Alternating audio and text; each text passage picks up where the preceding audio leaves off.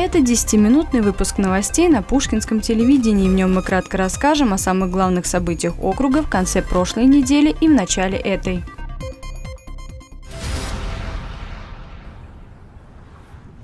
Ежедневно в Подмосковье делают прививку около 80 тысяч человек. Об этом в интервью телеканалу «Россия-1» рассказал губернатор области Андрей Воробьев. Сейчас наш регион в лидерах по вакцинации. Укол от ковида поставили уже более 2 миллионов 700 тысяч жителей. Высокие темпы вакцинации позволили приступить к сокращению количества инфекционных коек. А в целом а, койки у нас освобождаются уже четвертую неделю подряд. Спасибо Министерству обороны, врачам, которые приехали к нам. 1 августа мы э, закрываем «Патриот». Сегодня, слава богу, видим отрицательную динамику. Но еще раз, знаете, говоришь это публично и всегда опасаешься того, что, чтобы не было какого-то расслабления по поводу вакцинации опять. Для удобства жителей на выходных открывают мобильные пункты вакцинации. Третью субботу подряд сделать прививку можно было в городском парке в Ивантеевке. Также 24 и 25 июля дополнительный прививочный пункт работал в Доме культуры имени Ленина в Красноармейске. 25 июля завершился первый этап голосования за проекты, претендующие на премию «Мы рядом». Это было народное голосование. От округа Пушкинский участвует 39 человек. Среди них, например, есть родители детей с ограниченными возможностями здоровья, многодетные отцы и матери, экоактивисты и историки. Представлено немало инициатив по защите окружающей среды и сохранению исторического наследия. Также есть музыкальные фестивали, проекты по защите прав жителей в сфере ЖКХ, благоустройство территорий школ и детских садов. Посмотреть итоги народного голосования можно на сайте премии в разделе «Участники». Также необходимо выбрать интересующий округ. Организация я создала свой проект по вовлечению молодежи в сферу сохранения культурного наследия региона. Проект называется «Яркий след». Реализация проекта заключается в подаче классических кодов культуры в современных форматах. Культурные квесты в онлайн и офлайн виде, локальные тематические площадки, крупные мероприятия по культуре, а также консультационная добровольческая помощь федеральных культурных проектов. В 2021 году у премии нет профильных номинаций. Все зависит от масштабности проекта. Следующий этап – голосование жюри. Оно продлится до 18 августа. Напомним, по итогам конкурса будут определены 500 проектов-победителей, которые получат премии от 50 тысяч до 1 миллиона рублей. Последнее воскресенье июля прошли матчи восьмого тура первенства округа Пушкинский по футболу. Лидер турнира и бессменный чемпион последних пяти лет связист одержал уверенную победу над «Правдой» со счетом 10-2. Красноармейский альянс разгромил дебютанта первенства Пушкинскую доминанту. В центральном матче тура «Дизайн окно» сыграл в ничью со связистом 1-1, а новая деревня одержала тяжелую победу над Звягина 2-1.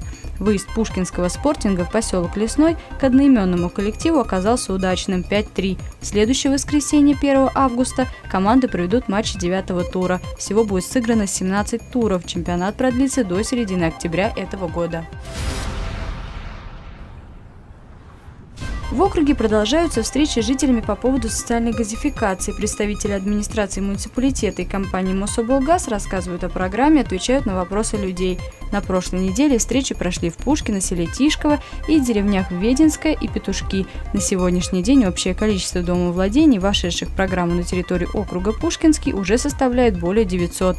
5 километров газовых сетей проведут бесплатно до границ участков домовладений жителей по программе социальной газификации. Дату, время и место следующих встреч можно узнать на странице в Инстаграм, посвященной социальной газификации в нашем округе. Ежегодный фестиваль крестьянской культуры «Синокос Муранове» длился два дня – 24 и 25 июля. Традиционно его провели на Барском лугу рядом с музеем-заповедником усадьба Муранова. Фестиваль организовывают уже более 20 лет. Лучшие фольклорные инструментальные коллективы Подмосковья выступали для гостей праздника. Фольк-рок и мировые хиты на балалайках, песни, танцы, старинные игры и забавы – все это было на фестивале. Мы оставили, оставили э, деляночку небольшую, каждый год мы оставляем, чтобы как раз покосить вручную. А, весь лук выкашивается, естественно, заранее, чтобы было удобно людям ходить, гулять. А, собираются вот такие стога, как вот у меня за спиной в том числе, да, на которых можно расположиться. Это и такая природная фотозона, по сути и оставляем небольшую делянку под ручной покос. Естественно, не обошлось и без покоса травы. Все два дня любой желающий мог попробовать в этом свои силы. Кроме того, весь фестиваль работала ярмарка с продажей изделий народного творчества, сувенирами и исконно русскими угощениями. Также можно было покататься на лошадях и принять участие в мастер-классах от народных мастеров. Дополнительно для гостей Синокоса подготовили экскурсии по усадьбе и парку, крокет и другие музейные программы. Правительство Российской Федерации утвердило правила предоставления инфраструктурных бюджетных кредитов. Федеральные средства будут предоставляться на возвратной основе по ставке 3% годовых на срок не менее 15 лет. Погашение кредита стартует с третьего года после его получения, что дополнительно снизит нагрузку на региональные бюджеты. Для того, чтобы получить такую финансовую поддержку, региону необходимо принять участие в отборе проектов. Благодаря инфраструктурным кредитам у регионов появляется возможность решить самые насущные проблемы, на которые а, раньше не хватало средств. А, как пример, обновить теплосети, очистные сооружения, улучшить качество дорог. Это очень длинные и по российским меркам очень дешевые деньги. Правительственный займ гораздо выгоднее любых коммерческих кредитов. Ожидается, что к 2024 году объем выданных инфраструктурных кредитов достигнет 500 миллиардов рублей. По словам председателя правительства Российской Федерации Михаила Мишустина, такие займы позволят увеличить объемы строительства новых жилых домов, больниц, школ, спортивных сооружений и дорог, обеспечит обновление жилищно-коммунального хозяйства. Все это позволит улучшить качество жизни граждан, даст дополнительный импульс развитию экономики на местах. О коммунальных службах и не только. Обучающий семинар в рамках проекта про ЖКХ прошел на выходных в Ивантеевке в новом формате под открытым небом. Подробности у наших коллег с Ивантеевского телевидения. Основы жилищно-коммунальной сферы изучают сегодня на занятии проекта «Про ЖКХ». Это шесть разделов. Правовые основы организации деятельности жилищно-коммунального комплекса Российской Федерации, роль и задачи советов домов, планирование и организация деятельности по управлению МКД, жилищно-коммунальные услуги, обращение с твердыми коммунальными отходами, проведение капитального ремонта и тарифы и ценообразование. С 1 июля тариф увеличился примерно на 4%, отмечает Анна Дунаева. Проверяйте, пожалуйста, чтобы не было задвоений или нулевых строк, или еще каких-то перерасчетов. Вы четко должны смотреть. Были случаи, и неоднократно, когда люди задавали вопрос, а почему у меня в этих передних графах начальных все четко, а в дальних двойные суммы идут. На семинаре акцент на диалог с жителями. Вопросов много. Большая часть касается капремонта и тарифов за ЖКУ. Главное – решать все сообща, объединив усилия. В случае, если нас не слышит управляющая компания и наши права нарушаются, мы идем э, в Государственную жилищную инспекцию и в органы прокуратуры. Татьяна Жаворонкова живет в доме номер два по Социалистической улице. Здание в ужасном состоянии. Женщина просит помощи. Управляющая компания «Светлый край» на контакт не идет. На семинаре сказала обо всем, что могла. Вот. Управляющая компания на нас не обращает никакого внимания. Я думаю, что дальше буду писать уже на управляющую компанию и дальше уже в прокуратуру.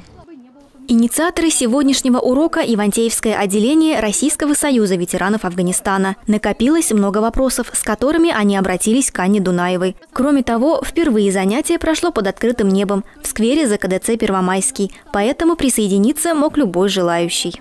У меня тоже был один вопрос, но в ходе беседы и в ходе выступления Анны Дунаевой этот э, вопрос отпал у меня. Просто не было необходимости его задавать. Я думаю, эти семинары, которые вот проводятся такого типа, они очень полезны, и надо их регулярно проводить. Занятия в рамках этого проекта проходят и в ресурсоснабжающих организациях города по их просьбе. За последнее время школу ЖКХ уже прошли сотрудники водоканала и теплосети. Планируются такие же встречи на открытом воздухе и в дальнейшем. Мы планируем провести встречу в формате приема населения. Будем приглашать всех жителей города. А, также сегодня мы приняли решение, что придут жители эти же, которые присутствовали с документами, чтобы детально помочь составить заявление и направить конкретно по алгоритму в ту организацию, которая окончательно будет являться той, которая решит проблему их. Большинство вопросов удалось решить на месте. Кто-то из участников семинара записался на личную консультацию. Кристина Лушникова, Владимир Безлепкин, Анна Белова. Программа «День за днем». Узнавайте самую свежую информацию о жизни Пушкинского городского округа в нашем блоке «Время новостей».